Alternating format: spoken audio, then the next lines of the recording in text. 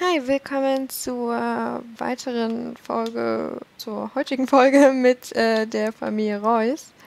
Und Theresa ist gerade am Aufstehen, ist gerade ausgeschlafen. Nein, zum Ausreiten haben wir gerade irgendwie kein Pferd. Bisschen unvorteilhaft, muss ich gestehen, aber ja. Und äh, wir werden jetzt aber nicht irgendwie einfach was zu Frühstück machen, sondern wir werden jetzt frühstücken gehen. Ich meine, äh, wir sind ja hier im Urlaub, da müssen wir ja nichts zu essen machen. Da können wir ja gern auch essen gehen. Ähm, ich überlege nur gerade wo. Weil, ja, so wirklich Möglichkeiten gibt es da jetzt auch nicht unbedingt. Mm. Wir können natürlich einfach ins Resort gehen, aber muss nicht sein. Ähm, gibt es sonst nie irgendwie was zum... Wie irgendwie ein Picknicktisch oder so, ein Picknickkorb? Hm, nö. Dann kaufen wir einfach schnell mal ein. Weil ich jetzt ein Picknick veranstalten möchte. weil ich nicht weiß, was wir sonst machen könnten, um ähm, einfach mal nicht frühstücken zu müssen. Also um, um uns kein Frühstück zu essen machen zu müssen. So der Richtung. Äh, dann gehen wir mal einfach in den Park und ähm, bauen da unseren Picknickkorb auf. Könnten wir das theoretisch auch da drauf machen? Ja. Mm. Können uns ja dann mal hier irgendwo hinsetzen. Jamie kann da dann auch herkommen, wenn er ausgeschlafen ist. Emily und Philipp, oh, sie sind auch gerade ausgeschlafen. Okay. Dann können wir das ja mal hier setzen. Dann kannst du es servieren. Und die gerne einen Teller nehmen. Und wir schauen mal zu Emily und Philipp. Die Emily kann ja auch schon mal ähm, hier ein Bad nehmen. Wir haben ja genug Zeit und ja. So, wir müssen ja nicht unbedingt schnell duschen oder so, sondern wir können ja den Aufenthalt hier genießen und in Ruhe ein Bad nehmen und so. Und du kannst währenddessen schon mal die Zähne putzen, das kannst du dann auch machen. So was vernachlässigt man bei Sims irgendwie immer. Oh Gott, was hat sie denn für eine Frisur, wenn sie in der Badewanne ist? Sehr schrecklich. Ja, so, Zähneputzen finde ich vernachlässigt man bei Sims irgendwie immer so ein bisschen. Daran denkt man irgendwie nicht. Ist ja auch nicht so wichtig bei Sims. Die kriegen ja davon keine schlechten Zähne oder sowas. Aber ja. So, und Theresa, du kannst irgendwas Schönes machen. Und wir müssten uns mal wieder hier mit den allen anfreunden. Dafür sollten wir unseren Urlaub am besten auch nutzen. Jamie kann dann hier auf jeden Fall auch einen Teller nehmen. Und du kannst ja währenddessen mal ein bisschen hier spielen. Wie weit ist deine Fähigkeit? Level 5, bald 6. Siehst du, das passt doch gut. Und ja, Philipp, du kannst ja mal die Toilette benutzen, solange du hier wartest, dass Emily fertig wird. Und dann kannst du auch dein Bad nehmen. Und dann gehen wir frühstücken, obwohl es schon fast Mittag ist. Aber wir können ja brunchen. Die gehen ja eh mehrmals dahin. Da werden sie sich bestimmt was zum Frühstück holen und dann gleich was zum Mittagessen. Das ist totales Brunch hier. Oh Gott, Philipp. Oh, hast du das jetzt ernsthaft verstopft? Sehr schrecklich. Ja gut, dann kann Emily schon mal nicht äh, dahin gehen, um auf Toilette zu gehen. Ich kann ja dann aber trotzdem schon mal hierher kommen und Philipp kann sich dann auf jeden Fall was zum, zu essen nehmen. Wie wäre es mit Machiavelli-Eiern? Und du möchtest das ausbauen, sehr gut. Ähm, Jamie, wo, wo bist du? Warum bist du nicht hier? Komm hierher.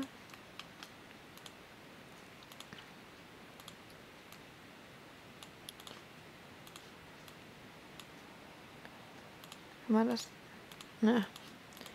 Ja, Jamie, komm einfach mal hierher und dann kannst du das in dein Inventar legen. Dann kannst du es wieder servieren und dann was essen. Oh, der nimmt den Korb sogar richtig in die Hand. Das ist sehr süß.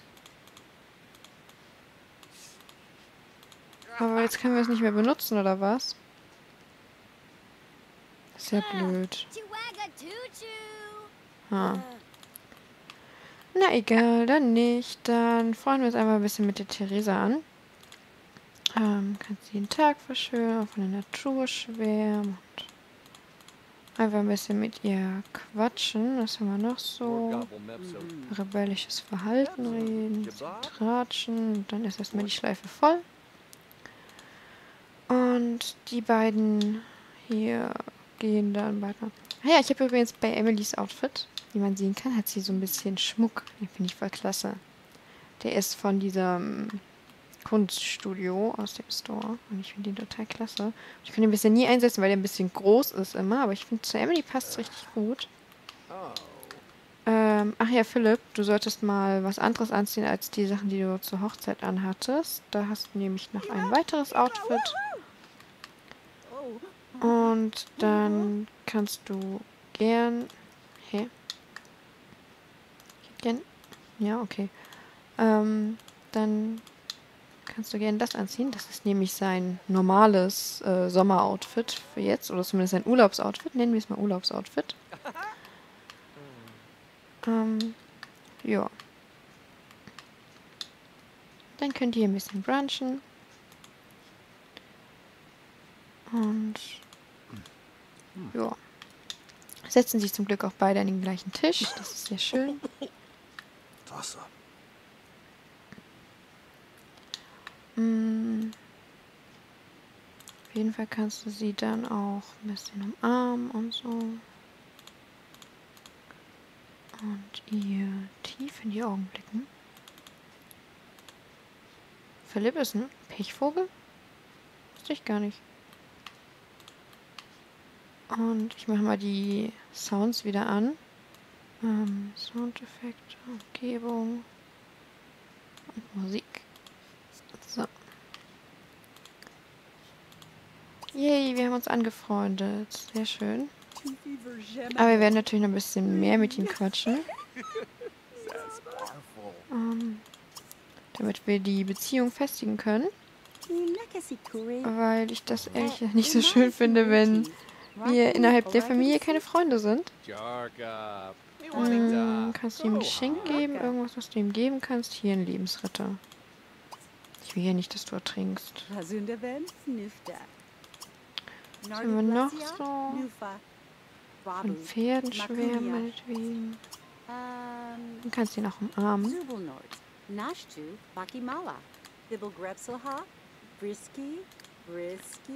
Ja. Ja, das haut hin. Mm, das können wir danach machen. Vielleicht können wir ja danach irgendwie uns einen Film anschauen oder so. Ist halt alles so ein bisschen, ja, urlaubsmäßig, so ein bisschen rumgammeln, würde ich sagen. Äh, passt so. Ist nicht wirklich was, dass wir... Oh, man kann jemanden in die Luxus-Suite einladen. Ich meine, wir sind jetzt beide zusammen, aber... Also, aber man könnte jetzt zum Beispiel irgendwie Urlaub machen und dann irgendwie äh, so einen Typen, den man kennengelernt hat äh, im Resort, in seine Luxus-Suite einladen. Uh, das ähm, eröffnet ja ungeahnte Möglichkeiten. Ja, okay. Ich spiele ehrlich gesagt immer gern so ein paar offenherzigere Sims.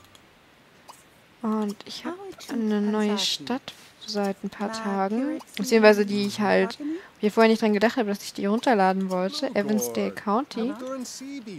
Halt von derselben Erstellerin, die auch Ann Arbor erstellt hat, in der wir hier spielen.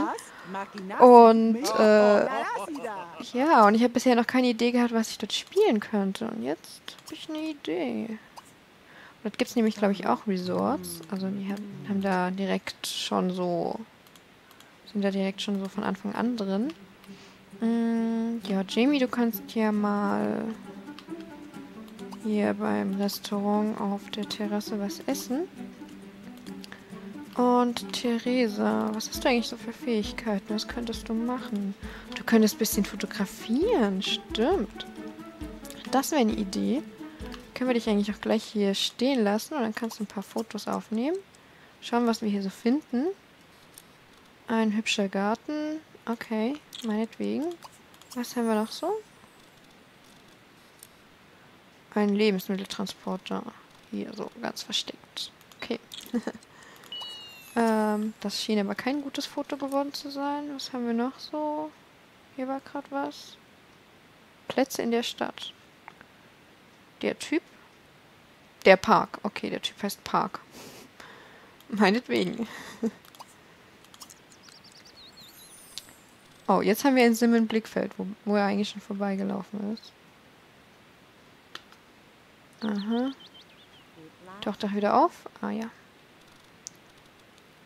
Ein Sim im Blickfeld. So. Bild von dem Typ von hinten. Von, ähm, verkauft sich sicher mega gut. Können wir eigentlich auch den Farbfilter wechseln? Ja, wir können... Oh, wir können sogar schon Sepia machen. Wusste ich gar nicht. So, schauen wir mal, was haben wir so für Fotos? Oh, wir haben bisher eigentlich nur noch die Ägypten-Fotos gehabt. Okay, super. Jetzt haben wir ein paar Bilder gemacht. Wie kriegen wir die Zeit rum? ja, keine Ahnung, was wir jetzt noch machen könnten. Das ist halt ein bisschen doof. Ich meine, ich könnte sie zum... Naja, tauchen kann sie ja nicht, aber... Hm. Ach, wir können ja einfach ein bisschen an den Strand gehen, und entspannen. Hier zum funkelnden Sandstrand.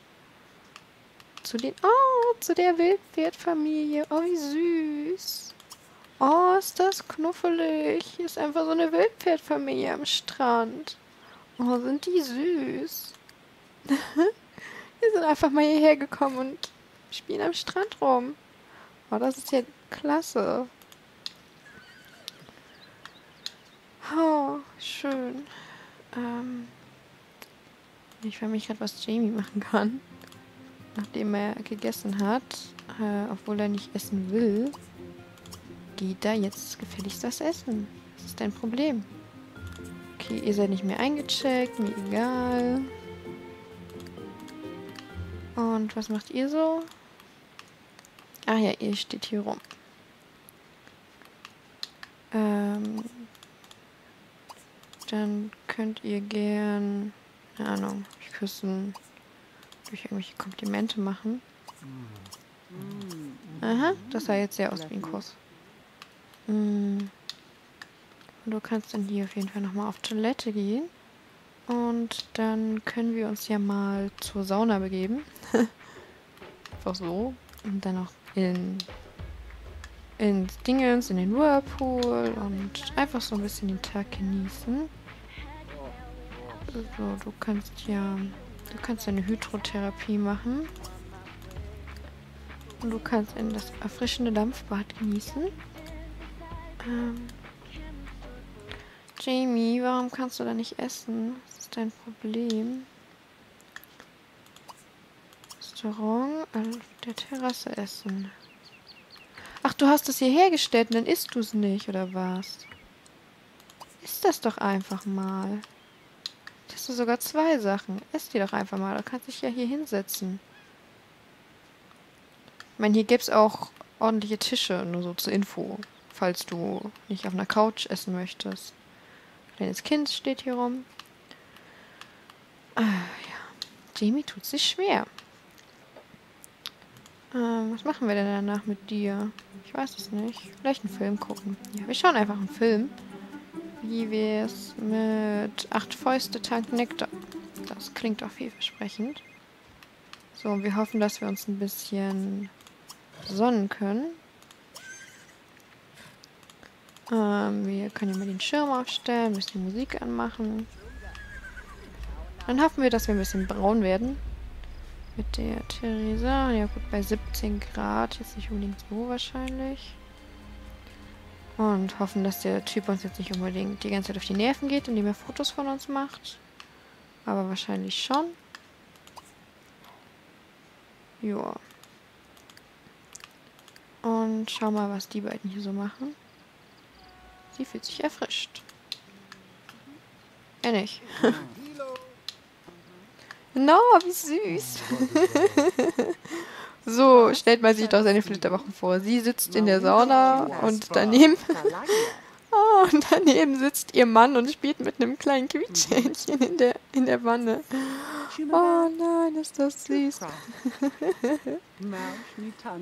ah, der hat einen Spaß dabei. Ich finde es aber auch lustig. ah je. So, Tamila. Emily macht einen kleinen Aufguss. Und du kannst dich dann auch ein bisschen hier setzen.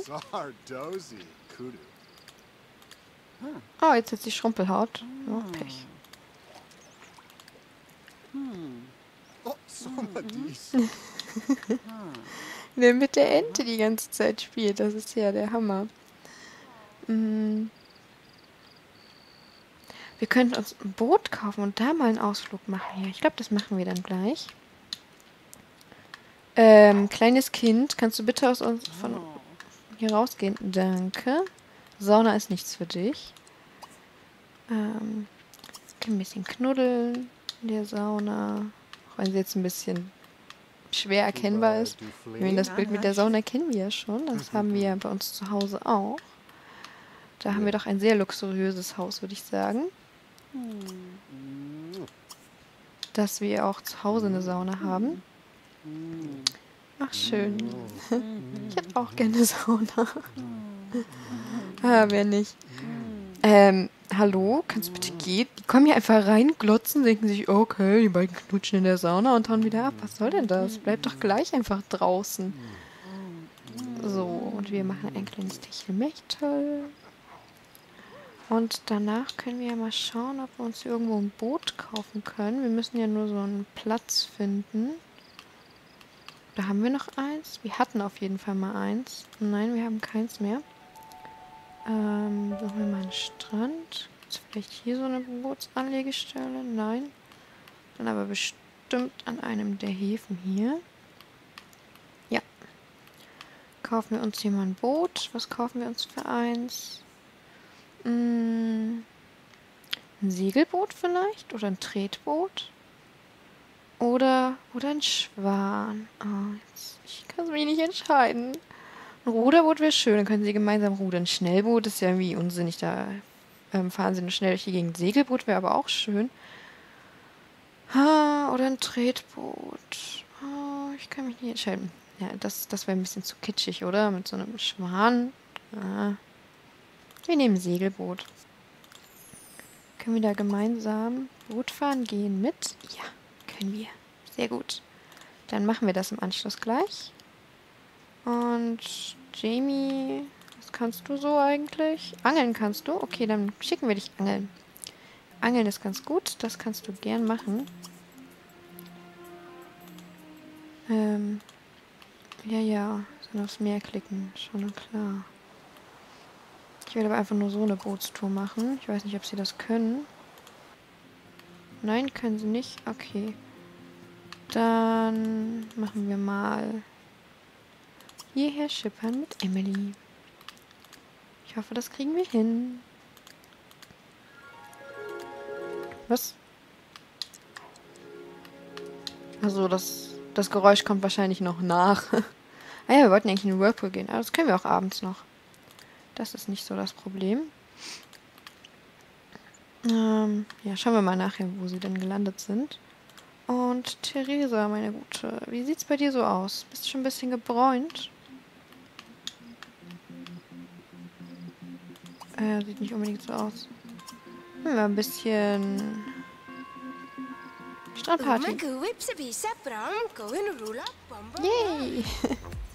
Passende Musik. Und dann können wir ja ein bisschen ähm, am Feuer sitzen oder erstmal das Feuer entzünden, dann dran sitzen. Ähm, Jamie hat einen tollen Männerfilm gesehen. Oh, das war ein Männerfilm. Sehr gut. ja, super. Habe ich doch gut ausgesucht. Ähm, oh, Philipp war ein bisschen in Leistungsangst. Das ist natürlich nicht so schön. Aber du wirst es bestimmt schon toll gemacht haben, Philipp. Ähm, ja. Dann setz dich mal hin, Tilda. Und dann kannst du gerne einen Marshmallow rösten Wäre vielleicht irgendwas zu essen da? Nein. Jamie hast du... Oh, Jamie hat eine Forelle gefangen. Sehr gut. Das heißt, wir können dann einfach mal die Forelle rösten. Das ist super. Und dann hör mal auf, Marshmallows zu rösten, sonst wirst du davon noch zu satt. Weil man ja von einem Marshmallow so satt wird, aber in Sims schon. Ach ja, genau das habe ich mir gedacht. So soll das aussehen. So schön. Ach ja, jetzt müssen sie ja wieder woanders hin schippern. Dann schippern wir mal dahin, oder? So. Yay, wir haben Angeln Level 4 erreicht. Sehr gut. Und die beiden machen hier einen schön entspannten Ausflug mit dem Boot. Und freuen sich ihres Lebens. ja, sieht aber auch echt schön aus, auch nachts. Ist der Paradies ist eigentlich echt wunderschön.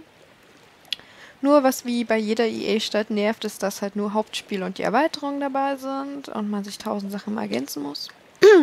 Entschuldigung. Ähm, obwohl ich es eigentlich in der Zeit, ich in Easter Paradies so gespielt habe, gut hingekriegt habe, so einige Sachen einzufügen. Hab dann auch so ein bisschen das an Inselstil angepasst und so, so ein paar Clubs und keine Ahnung, so ein Zeugs. Aber ja, und noch dazu leckt das halt total, deswegen. So, jetzt schwimmen sie weg. äh, ja, okay. Ich ähm, krieg manchmal nicht mit, was ich eingestellt habe und was nicht und wie ich es wieder auf normal krieg. Ja, und Theresa, wie geht's bei dir so? Jetzt ja das Feuer wieder ausmachen. Und, keine Ahnung, hier steht Typ rum. Oder der Type, besser gesagt. Und ja, du kannst ja mal jemanden anrufen vielleicht. Wie wär's mit ihm? kannst ja mal mit Christopher ein Ferngespräch führen. Mit Jamie sind wir jetzt relativ gut angefreundet. So auf der Ebene könnte das ruhig bleiben. Man muss ja nicht unbedingt bester Freund mit seinem Neffen sein. Hm. Apropos, wie läuft's bei dir so, Jamie? Hast du schon ein paar Fische wieder gefangen? Uh, ja, einige. Sehr gut. Die kannst du ja dann auch alle in dein Aquarium stecken, zumindest ein paar davon. Aber wir sind, warum sind wir vorher nicht mit ihm angeln gegangen, wenn wir Fische für sein Aquarium brauchten? Keine Ahnung. Naja. Ähm, ja. Es ist schon voll spät und sie sind alle erst halb müde. Mal schauen, was wir mit der nachts noch so machen können. Das werden wir aber wahrscheinlich erst das nächste Mal machen. Ich werde vielleicht eine Bar oder irgendwie sowas einfügen, halt von denen, die ich noch so in meiner Bibliothek gespeichert habe. Und dann werden wir hier natürlich auch einen schönen restlichen Urlaub erleben, aber halt erst nächste Woche wieder. Bis dahin geht es in einer Stunde weiter mit der Abenteurer-WG, wie genauso wie am Wochenende. Und vielleicht kriege ich es ja noch hin, das ein oder andere zusätzliche Video zu machen. Mal schauen. Aber wir sehen uns auf jeden Fall, wenn ihr möchtet, am Montag wieder mit der Familie Reus hier in Isla Paradiso. wie Jamie erfolgreich weiter ein paar Fische fängt und wir immer noch unseren Urlaub genießen können. Und bis dahin sage ich auf jeden Fall Tschüss.